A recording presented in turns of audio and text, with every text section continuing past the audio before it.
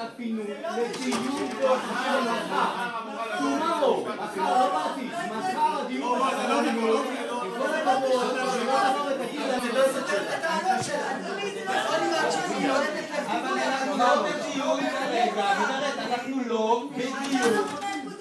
אבל אני מתנגד, את מנהלת את הדיון. זה לא הנושא פה.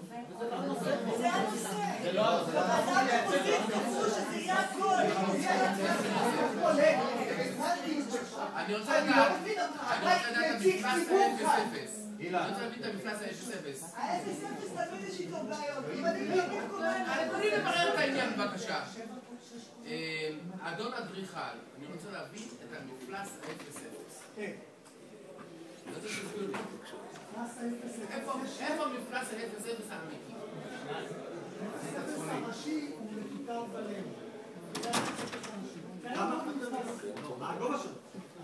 שלו, על פי התמ"א. כמדומני, מה המספר שלו? זה עוד ששיניתם מהתמ"א. לא, לא, 0 הוא 811 70. כמה? לפי התמ"א. 811 70. הוא המספר, ה-0 שגובל עם זכותם ממנו, זה בתחום הראשית, הוא 811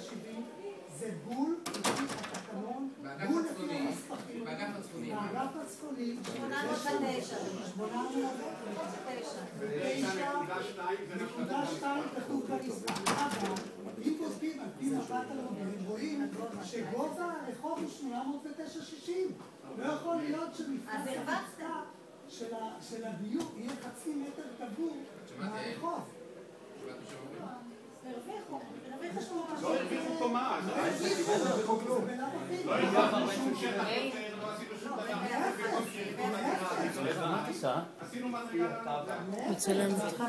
סליחה, את גם באה מתפרצת, גם זה תיקים. סליחה.